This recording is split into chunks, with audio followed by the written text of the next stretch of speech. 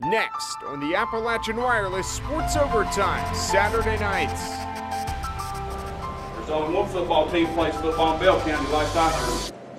The first week of the high school football season continues. Knox Central takes on Bryan Station at the Roy Kidd Bowl, and Shelby Valley opens its 2015 campaign at Franklin County. Plus, I think we're much more talented uh, for sure. The receiver uh, core, it's not even close. The college football season awaits. We'll check in with Kentucky, Louisville, Union, Cumberlands, UPike, UVA Wise, EKU, and Morehead State. And a former Mountain Boy takes the national spotlight. Are you ready? We're ready. Let's start the show. I'm Riley Hall. I'm Jake Johnson. I'm Mason Hilton. We're from Pulaski County High School. We, are, are the number one team in the mountains. Sports overtime starts now.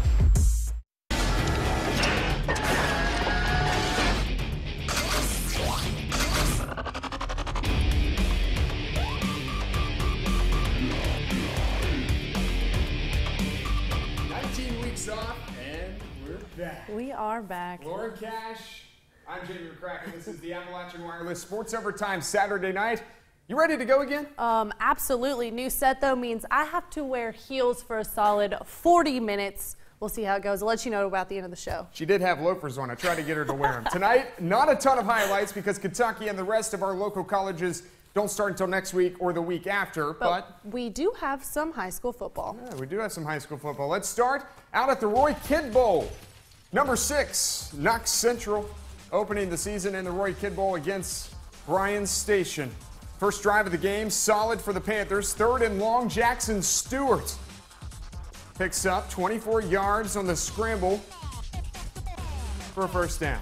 Same drive, facing a fourth and two from the five. Stewart on the draw, uh, tipped up, no gain. Turnover on downs. Ensuing defender's possession, the handoff goes to Devin Key. He bounces it out to the outside, and there he goes. You know, they did the same thing to Harlan County last year. 81 yards. 81 yards. I think last year was like 80 yards for the touchdown. Bryan Station up top.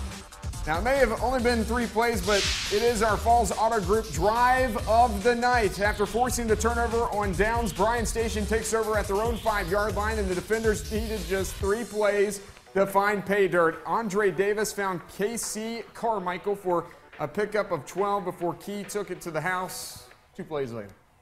And the Yellows in action again. Next, Knox possession, facing another fourth and down. No one open downfield. Stewart is dropped for a loss. Not a good start for the Panthers this so far. The defenders have capitalized. Davis directed traffic out of the pocket. Get Bryan Station another touchdown. That's Carmichael, 39 yards. As we go to the Highlands Black and Blue Clinic scoreboard, the Panthers shut out by Bryan Station tonight. The defenders knock off the number six ranked Panthers in our Mountain Top 10, 49 to nothing. All right, let's head out to Frankfort, shall we? The ninth ranked Shelby Valley Wildcats paying a visit to Franklin County.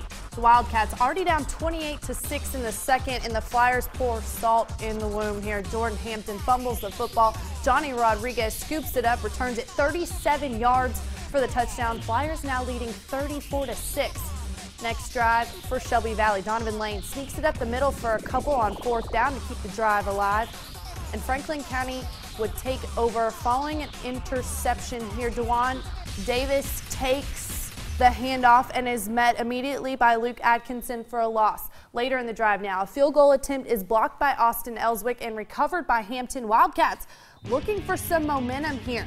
Plays like fake. Josh kind of missed that. Plays certainly like this help. Chris Grunter rumbles up the middle for a huge chunk of yardage, 44 yards on the play, but once again, the drive would stall. And we go to the Highlands Black and Blue Clinic scoreboard. The Wildcats fall on the road at Franklin County 60 to 6. All right, let's stay on that Highlands Black and Blue Clinic scoreboard. Another coverage area team goes down tonight. Roundland County puts up 55 on Clay County. Yikes. Justin Combs area in Manchester begins with a 55 to 26 loss on the road. Tough times for, for our three coverage area teams playing today. But coming up next on the show, Yes, coming up next, we'll take a look at the first week of high school football. Plus, we'll go to Lexington to check in with a fiery Mark Stoops about Kentucky's less than satisfactory scrimmage this afternoon. I didn't know that was my. He is Cameron Jones. He's the quarterback for Knott County Central, and you are watching Sports Overtime Saturday night.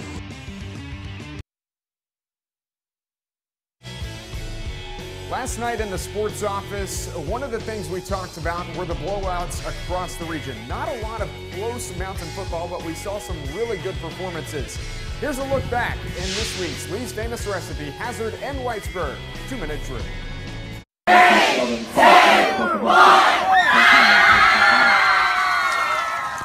Week zero kicked off with a bang. Start in Prestonsburg. The Black Cats hosting Pikeville, and on the opening kickoff, Chapman Gerald baby! Go, baby! Go, Dave!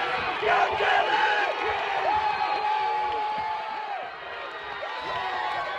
The former Black Cat goes 99 yards to the house. Over at Knott Central, new head coach John Paul Chapman unleashed his freshman quarterback. Cameron Jones completed 13 of 19 passes for four touchdowns. All four of them were to Dalton Cornett as Knott Central beats East Ridge. The Patriots will go to Leslie County next week and try to continue their winning ways. Side note, Knott Central hasn't had a winning season since 1997. Could this be the year? Welcome back to Somerset, Jordan Doan. The former Southwestern Warrior transfers back over to the set and scores five touchdowns in the 2015 opener over Mason County as the Briar Jumpers win their first game since November of 2013. The defending Class 5A state champions put on an offensive clinic. Pulaski County scores 64 points and wins by 38 over Jeffersonville, Indiana. The Allen Central Rebels scored 56 points and shut out the Phelps Hornets. That's the most points they've scored since August 2011 when they defeated Jenkins. That's not the only 56 0 final from Friday night. Our Appalachian Wireless game of the week turned ugly quick. For the fourth season in a row, North Laurel beats South Laurel. And finally, the Tom Larkey era started at Perry Central with a win, his 293rd overall. This has been the Lee's famous recipe, Hazard and Whitesburg. I said, my brothers, yeah! looking good tonight. Two minute drip. Good stuff there out at Pikeville. Big game, boy. This is what to look forward to next Friday night, August 29th. Belfry will kick its season off. The number three team in the mountains will take on Tates Creek at the Pike County Bowl. Also, Pike Central and Shelby Valley and Phelps and East Ridge. We'll have those games live on this TV and WYMT.com. Meanwhile, Breathitt County, the Bobcats didn't play in week zero. They'll open their season up at home with Perry Central next Friday. New head coach Tom Larkey off to a 1-0 start as he wins in his debut uh, Perry over the past weekend. Now, Breathitt County has lost four straight to Perry and has not beat the Doors since 2003. Also in action next Friday, Rockcastle County opening the season at the number 10 spot in the Mountain Top 10. They'll go to Danville for the Bob Allen Classic, Pigskin Classic, I should say, and then the number one team in the mountains, fresh off a 64-point performance and a win over Jeffersonville, Indiana, will go to Scott County to take on the Class 6A Cardinals. Well, coming up next on the Appalachian Wireless Sports Overtime Saturday night, more college football previews. Yeah, we talk UK, Louisville, and our boss, Josh McKinney, was at EKU with this guy. I'm like a fire hydrant, man. I mean, I'm 300 pounds. I don't move. I just, I'm a run stopper. That's just my thing. Former Somerset Briar jumper Kagan Skidmore and a bunch of other former Mountain Boys who are ready to get their season started with the EKU Colonels. You'll hear from them next.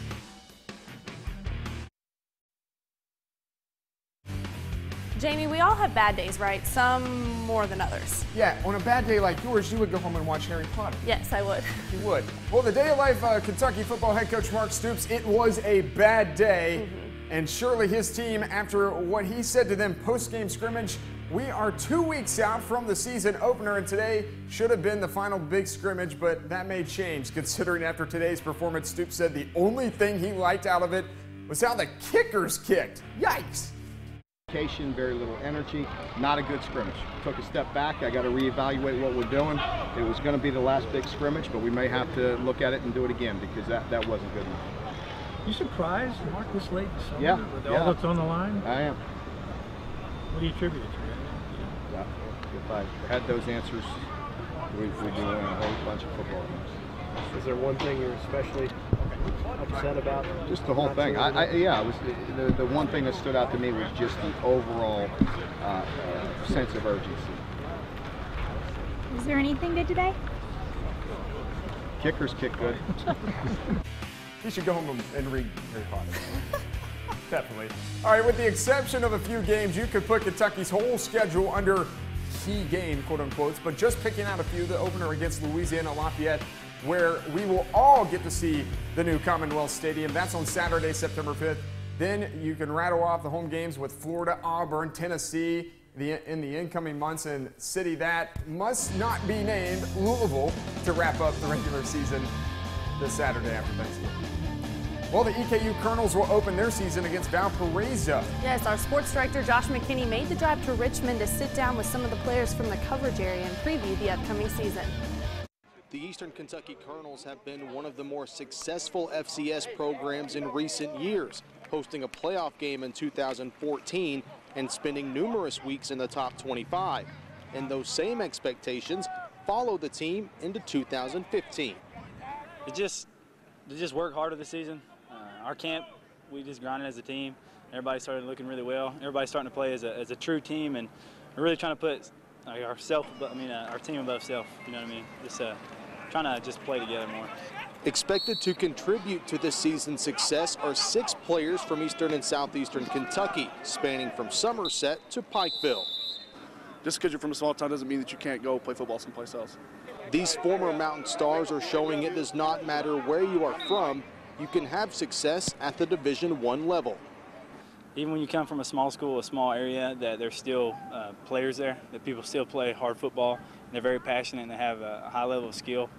And I hope that they see that it is possible to go to a big school and play big football.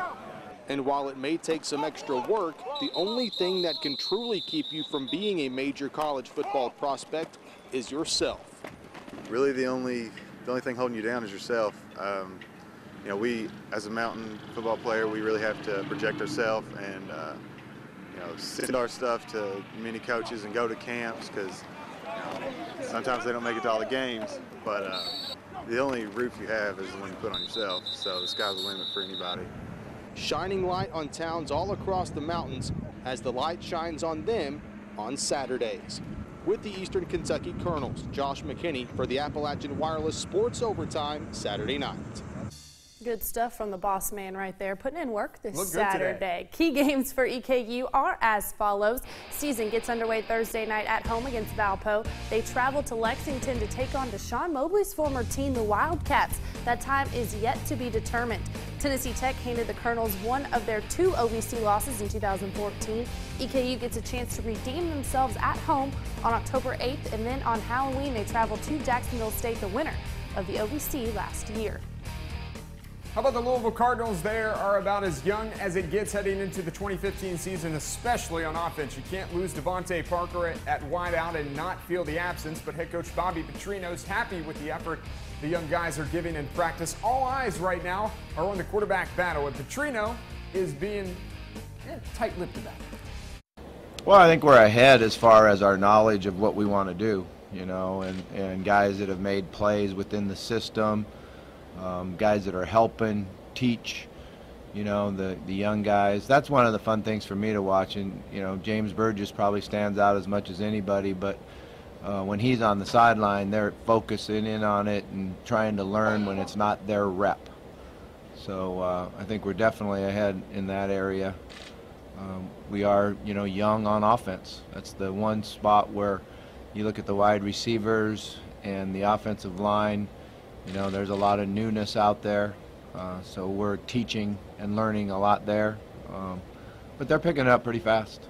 And eventually they'll pick a quarterback maybe. Check out some games of interest for the Cardinals entering the 2015 season unranked in the preseason top 25. They kick off the season traveling down to a team that is ranked in the preseason top 25, seventh ranked Auburn. Of course, Kentucky will play them later this year. Game is set for 3.30 p.m., second year in the Atlantic Coast Conference. The Cards go on the road then to face Florida State, and of course that non-conference game between in-state rival Kentucky set for November 28th, Saturday after Thanksgiving at Commonwealth Stadium. Time is PBA to be announced, right? Is that what that stands for? I think it's true. I hope so. To be determined. It is. yeah. Coming up next on the Appalachian Wireless Sports Overtime Saturday nights, we check out the local colleges' upcoming football seasons. Yes, UVA Wise, Morehead State, Union, U Pike, and sprinkle in a little Cumberland's track and field. That's next. Third year for the UVA Wise Cavaliers in the Mountain East Conference. Yeah, don't people usually say third time's the charm? Do they? I don't know. Hopefully. The Cavaliers, though, can only hope for that saying. Wise has struggled since jumping to NCAA Division II two seasons ago, but morale is high entering the 2015 season. Head coach Dewey Lusk says his team has two years of experience at playing at this level, and they now know what to expect. Well, when you look back on it, um, you know, here was a team that was one and nine going into the last ball game, and you're down 21-14 with five minutes to go. You drive 80 yards and score. Your defense stops them three plays. You get the ball back, go another 70 yards, and kick a field goal to win it. The kids never quit, and uh, I, I, just it tells you a lot about their character and their attitude. And uh, and even though two and nine is not what you're looking for that last win, showing their attitude, come from behind, it's definitely been something that we've built upon uh, over the winter workout, spring practice, and uh, they're chomping at the bit to get going. They really are. Third year in the Mountain East Conference for the Cavs in Division Two. Season gets underway in two weeks against Tusculum College. That's a night game, 7 p.m. kickoff. UVA finished 2 and 9. Their two wins coming against West Virginia State, a team they get at home this year on October 3rd, and Fairmont State. They hit the road for on October 24th. Let's jump to the Pioneer League now, shall we? The Morehead State Eagles finished 4 and 8 in 2014. Third year head coach Rob Tenyer says MSU zoned in on improving their defense from last season. They simplified their scheme, and over the offseason, he's seen improvement. We've got to make plays. We, have got to limit our, our missed tackles, and uh, we've got to be aggressive. We want to be an attacking defense, and uh, and we have simplified things. You know, we, we've we've uh, removed a lot of different calls and, and a lot of verbiage in, in, our in our packaging, and so uh, we want to allow our guys to go out and play faster, uh, not over process stuff, and, and just be football players. All right, here's a few games of interest for the Eagles. They travel to James Madison first game of the season on September 5th. First home game of the season is not till September 19th. They bring in Kentucky Christian. That'll be a whiteout game. They also welcome in Davidson and Dayton for Pioneer League play. Now to the NAIA and the Mid-South Conference. The Cumberland Patriots did not have the season they planned with new head coach Matt Reimer, but they did end the year with the win, scoring 63 points over Bluefield College. The 2015 season awaits a clean slate and a year of experience. When he thinks about his first season at Cumberland's, he doesn't know where to start. That would take a while, you know, to, to tell you really. A 3 and 7 record taught head coach Matt Reimer a lot we faced a lot of adversity, a lot of challenges, and just really trying to get the kids to buy into what we were doing and believe in what we were doing during those tough times. And the group of kids that we had that are still here, I think, are much stronger now because of the things we went through. I have no doubt about that. And so they never budged, they never wavered. They have a great faith in what we're doing, and uh, they know that we'll prevail and that we'll be back to where we need to be. Defensively, the Patriots gave up 33 points per game in 2014. Expect a difference this year. Coach Reimer plans to take more chances with his new defensive coordinator, Steve Jewell, calling the shots. A lot of people in the Mid-South Conference, they like to throw the ball around, like uh, whether it be Campbellsville or Lindsey Wilson, schools like that. And it's, it's, a big, it's a big deal to get after them and let them know you're there. And uh, so that's our number one goal, whether sack him or let you know you're there every time, make him look. So. And on offense, UC will have its starting quarterback back. Junior Adam Craig missed the rest of the season after his injury in the Union game. And remember, he's the one who led the Pats to the national championship as a freshman in 2013. More consistency and just being able to have long drives and uh, really putting together solid drives with uh, less penalties, less mistakes, and uh, probably more explosive plays. Cumberland's opens the season with the number 16 team in the nation with the Campbellsville Tigers. Patriots kick off their season this Thursday, August 27th on the road against the 17th ranked Campbellsville Tigers. As I said, UC welcomes a Union this year for the Brass Lantern game. That game is set for September 26th. They'll travel to the 7th ranked Lindsey Wilson Blue Raiders in October and then a big Mid-South Conference East Division game in late October against the U-Pike Bears. All right, staying with the Cumberland Patriots, there's a new track and field and cross country coach in town. Pulaski County native Randy Greer takes over the program from Floyd Stroud, who retired in the spring. Greer ran at Cumberlands in college and says coming back to Williamsburg feels like a second home for him, and he's excited to keep moving the already successful track and field and cross country programs forward. Oh, it's huge. I mean, I think I'm only like the maybe fifth head coach in the program's history. So, you know, to me, that's a big honor to know that the program's been as, as successful as it's been, and I get the opportunity to hopefully keep that tradition going. Uh, it's been it's been a great experience. You know, Cumberland has been a place that you know has sort of been like a second home for me, and for me and my wife to have an opportunity to come back to this area, you know, to be back at my alma mater, you know, it's just a really special experience to be able to come back. Well, coming up next, both of these Mid-South Conference football teams struggled on the defensive side of the yeah, ball. Union and U-Pike, but both coaches are quick to point out their improvements over the offseason. Head coach Zach Willis and the Union Bulldogs are heading into their second season together down in Barbourville. Just one win on the 2014 season. Obviously, they'd like to see that change, but in a tough conference like the Mid-South, what they really want to see improvement from is their defense. When the Union College Bulldogs take the field on September 5th against Warner, they'll be in search of not only their first win of the 2015 season, but their first win since September of 2014. That being said, the excitement surrounding the football team is pretty high. I, with the kids, it's high, and know, the community seems to be excited too. I think in Eastern Kentucky, football is important, so it's pretty high. The Bulldog offense at times operated at a high level, averaging 30.5 points per game for this season.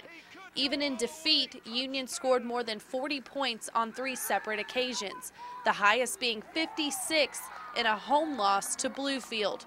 When we ended up playing against teams that showed us um, different looks, we kind of struggled to score like Lindsey Wilson and Georgetown. So as far as those games, we know that we have to be more sharp mentally and physically, and also we have to be able to make the bigger plays that is it's easier to make when the coverages are kind of simple.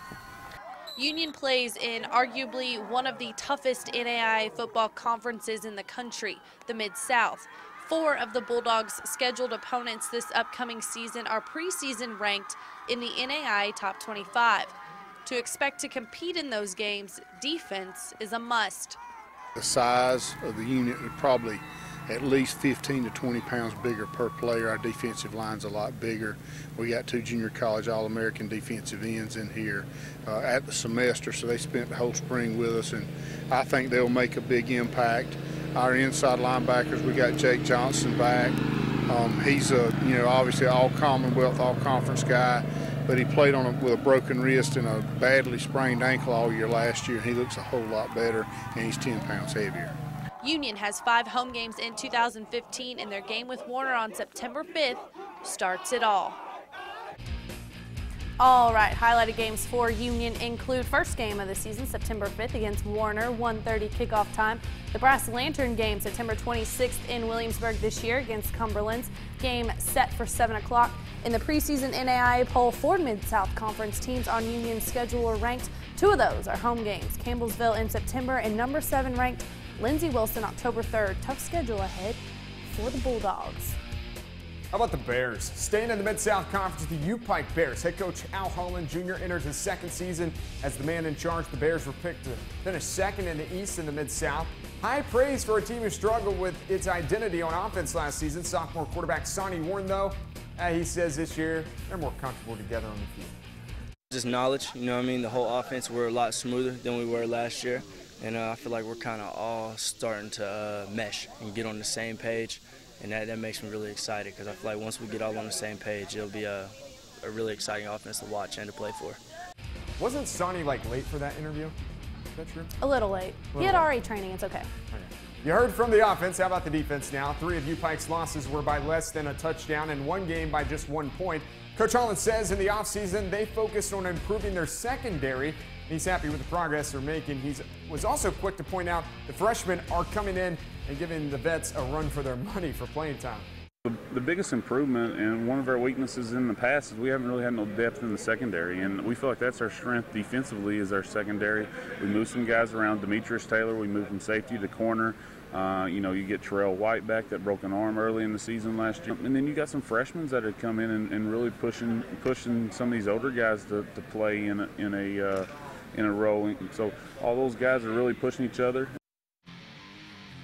Or check out the key game board for the Bears. UPike gets a head start on the season than everyone else. They face off with Bluefield this Thursday, August 27th at home. They travel to Campbellsville on October 10th, then follow that up with a road game against the Cumberlands. A probable game of the week between Union and UPike on Halloween night, October 31st. Actually, it's Halloween day at 1.30 p.m. And then finally wrap up the season with Mid-South Conference for foe Georgetown at 1.30 at Hambley Field Athletic Complex. Well, next up on the Appalachian Wireless Sports Overtime Saturday night, a local baseball player throws a no-no last night. Yes, and we will name this week's play of the week.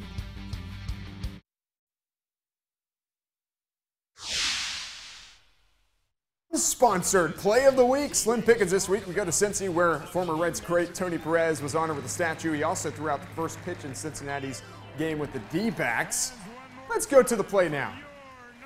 Hey, rocking some nice shades. Reds down three run. Jay Bruce, a bullet down the first base line. Two runs come across the plate for the Reds. That pulls them within one. Tony Perez, Jay Bruce, tonight's unsponsored play of the week. I just like to say it's unsponsored. I don't know. Whatever. Whatever. A former Cumberland's Patriot pitcher fulfills his dream last night in Houston, Jamie. More than a dream. This thing, this thing, this guy was real good last night. Real good. The Astros taking on the Dodgers. Mike Fiers, who played his college ball at the University of Cumberland's on the mound and just his third start since being traded by the Brewers last month. And here's how it went. Two and two to Justin Turner.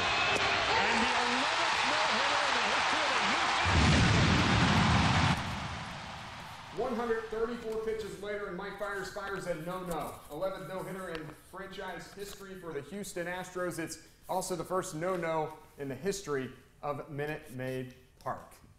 All right. I'm not going to ask you if you had fun yet. I got to ask. Jesse, how would you grade the show? Our director, Jesse? He gave us a B minus. So the A plus team, that's, that, that it's first game of the first show of the First year, first game of the season. You know, First for us, season, basically yeah. the same That's- thing. It's very understandable. But anyways, did you have fun? I absolutely had fun. My feet made it through the first 40 minute show. By the midway through, I'm going to be in mid-season form. I'm really excited about it. She's going to need slippers to finish out the season, trust me. Hey, coming up uh, next week, of course, week zero's off, uh, or done with. Week one, though, we'll have a ton of football games for days, as Lauren Cash I love to to say, say for that. days. That's obviously why I wrote that. Four Appalachian Wireless games of the week. Our man Tanner Hessenberg going to get a lot of work in. Same thing with Earl. Yep, Pike County Bowl, also the Cumberland Valley Bowl out in Laurel County between South Laurel and Wayne County, then Harrison County and North Laurel.